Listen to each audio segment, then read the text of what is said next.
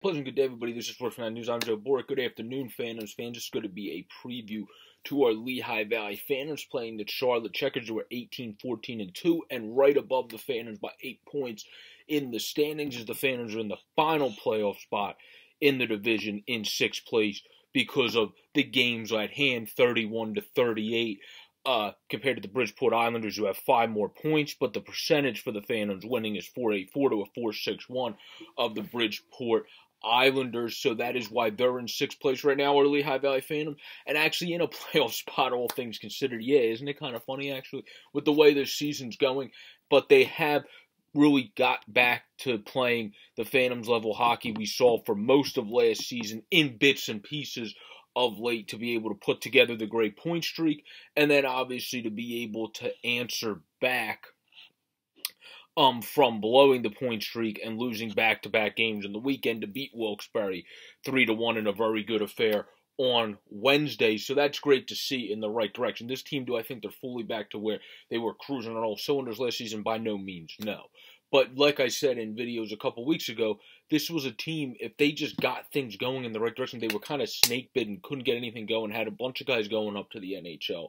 Uh, now with the taxi squads, that affects it even more. Of course, after the All-Star break, there's no more testing for asymptomatic guys, so that should help the AHL but they've had so many guys go up. They still have had that. They've had so many injuries, but now since guys have come back from injury for the Phantoms, even with the amount of guys still up, it showed how much it's really helped them. And everyone's not even back yet. They still have Tanner, they have Fitzgerald, Kevin Hayes' cousin, and others that have to come back as well. So it's going to be a big impact when those guys come back, and they're already playing much better hockey. So do I think they're back to fully where they were last year? No. But do I think they're a team that could continue to compete and maybe even get to the fifth spot if they go on a run? Because like I said a couple weeks ago, it's all about just finding that jazz and finding that magic, and then they did, and they started trending in the right direction. Now they're playing significantly better.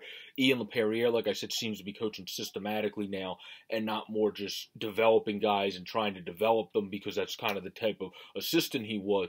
He now is figuring out systematic coaching, which it took him a minute to do getting into the season but now that he has, he's put stuff in the right place. They won on his birthday when he was absent. Riley Armstrong stepped in, and Jason Smith and did great. So um, now we'll see what the Phantoms are able to do against the Charlotte Checkers today. When it comes to the team stats and the head-to-head, uh, the Phantoms are only one and three against the Checkers this year.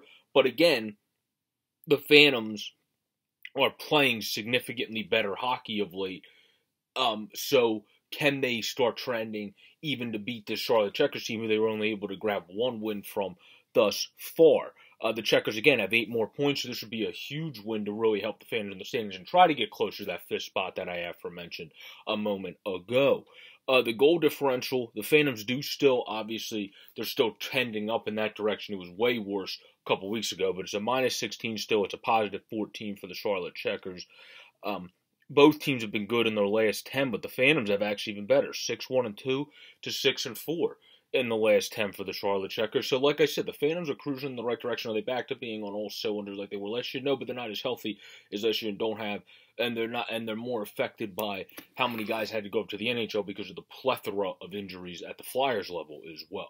But I think this team's trending in the right direction. I think now, especially with the six deep playoff system, they actually, with the way they're playing now, have a chance to finish rather than the way they were looking early. It looked like they were going to be the last place team, have a chance to finish in the top six and actually make a player spot. I might be able to get fifth if they continue to go on a good run. It's all about continuing to exit and enter zone uh, better and also just continuing to have that resilience or perseverance or get back mentality that the Phantoms have had of late, which they had all of last season. Whenever they went down, they were not out uh, where the big club for the Flyers this year, that's one of the biggest issues. Whenever they go down, they seem to be out.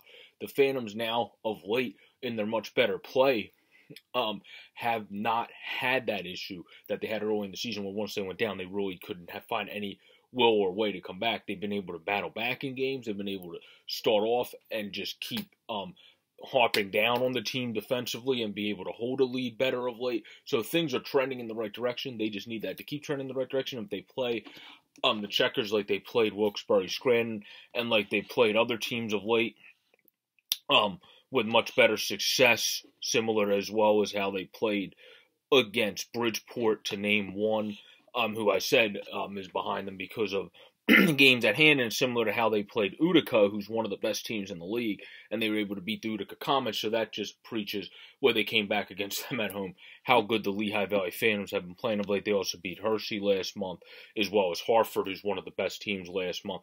So the Phantoms are playing better hockey and it's continuing the trend in the right direction. If they can keep that up, they'll continue to be a playoff team. It's about now trying to find a way to beat the Checkers, which they've only been able to do once this season as a Lehigh Valley Phantom have not been overall successful as only one and three against the Charlotte Checkers. So hopefully today they can change that, get the win.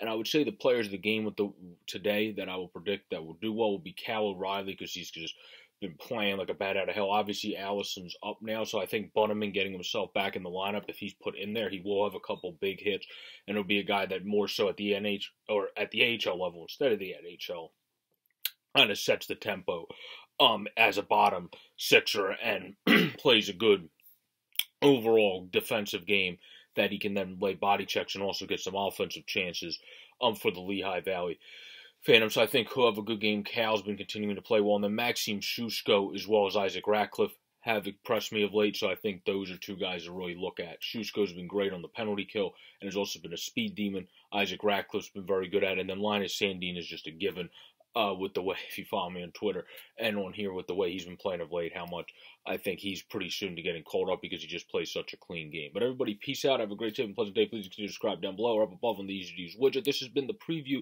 to the Phantoms versus the Charlotte Checkers, which is at 4 p.m. today. Is the Phantoms have to battle the Charlotte Checkers, of course, at Charlotte, and then they play um, at Charlotte tomorrow, have a extended break until next Friday where they play at Springfield, at Hartford, and then come back on Sunday for Hershey. So it's a lot of hockey, even though, though there's an extended break. It's still a lot of hockey um, back-to-back succession because they have a back-to-back, a break, but then three in a row, which is more common at the ECHL level than the AHL level next weekend. So have a great day, pleasant day, everybody. Peace out and go Phantoms.